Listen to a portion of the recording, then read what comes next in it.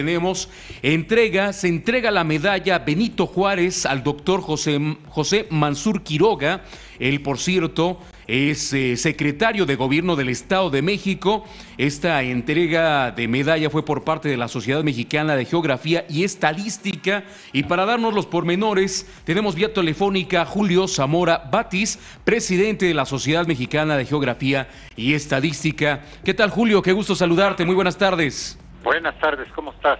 Muy bien, gracias. Pues aquí muy contentos de recibir esta gran noticia. Si nos puedes dar los pormenores de lo que sucedió el día de hoy, por supuesto, con el doctor José Mansur Quiroga.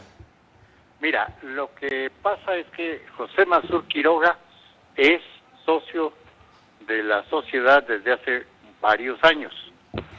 Él ha presentado diversos trabajos a lo largo de ese periodo como es obligatorio para todos nosotros presentar al menos un trabajo al año. Y ahora que eh, estamos al finalizar un año prácticamente ya, porque los meses que faltan son muy poquitos, hicimos una revisión y tres, cuatro personas sobresalieron y les entregamos la medalla Benito Juárez. Uno de ellos es el maestro José Sergio Mansur Quiroga, que ha desarrollado una gran labor buscando la conciliación de distintos grupos en todo el territorio del Estado de México con diversos problemas. Él actúa en problemas de tipo laboral, actúa en problemas de diferencias de tierras, actúa en problemas entre los grupos colonos, etcétera, etcétera.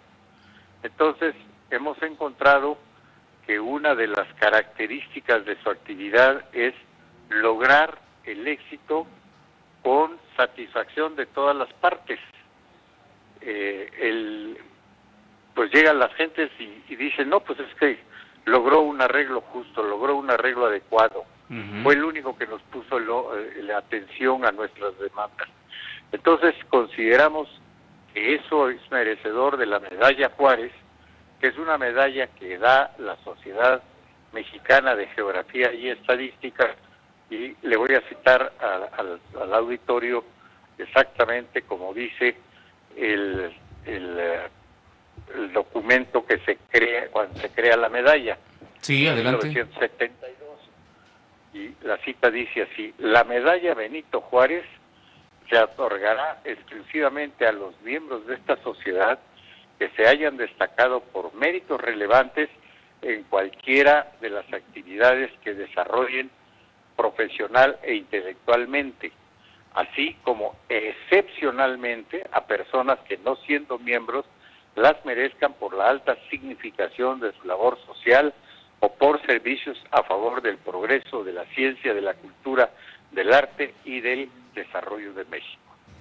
Entonces, esto es la mejor forma de expresar las razones por las cuales le otorgamos esta tarde la medalla Benito Juárez al maestro José Sergio Mansur Quiroga.